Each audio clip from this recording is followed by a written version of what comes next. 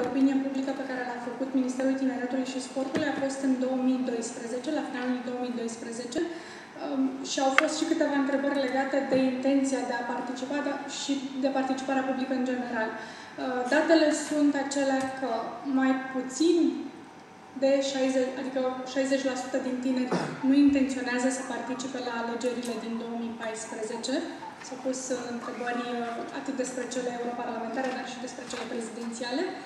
Și de asemenea, un procent de aproximativ 5% din tineri sunt implicați civic, în sensul că fac voluntariat sau sunt parte dintr-o organizație neguvernamentală. Acestea sunt datele.